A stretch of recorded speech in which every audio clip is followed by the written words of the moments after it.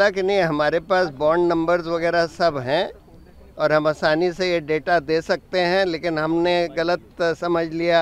आपके ऑर्डर का मतलब हमको लगा कि बॉन्ड नंबर नहीं देने हैं वगैरह वगैरह। तो कोर्ट ने बोला कि नहीं, हमने आपको बोला था कि सारे डिटेल जितने आपके पास हों इन इलेक्टोरल बॉन्ड्स के बारे में, सब आपको डिस्क्लोज करने हैं।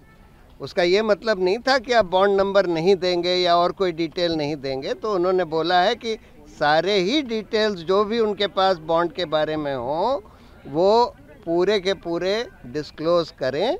और स्टेट बैंक के चेयरमैन से बोला है कि वो थर्सडे की शाम तक एफिडेविट कोर्ट में फ़ाइल कर दें कि उन्होंने ये सब डिस्क्लोज कर दिया है। और इलेक्शन कमीशन इस सारे बॉन्ड नंबर्स के साथ सारे बॉन्ड्स के डिटेल्स तुरंत पब्लिकली डिस्क्लोज कर दें। So today the Supreme Court heard its uh, uh, notice to the State Bank asking them why they had not disclosed the alphanumeric details uh, on each bond, alphanumeric number on each bond uh, of the purchaser as well as of the party which redeemed those bonds. But before the court could hear the State Bank, uh, there, are, there were three applications filed by the three industry organizations, FICCI, CII and ASSOCHAM, in which a prayer has been made that the bond number should not be disclosed so that the donor details don't come out.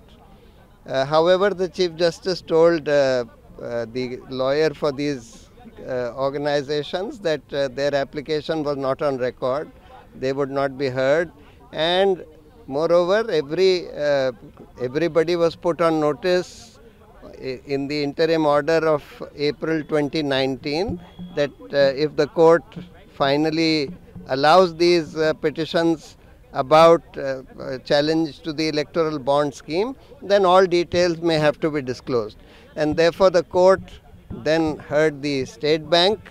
State Bank said we had misunderstood Mr. Salve appeared for the State Bank. He said we had misunderstood the purport of the order. We thought that uh, the order was only to give those other details about the amount of the bond and the name of the party who encashed it, but not the alphanumeric details.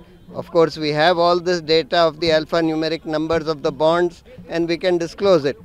So the court said, all right, they passed an order saying that uh, they must disclose it forthwith.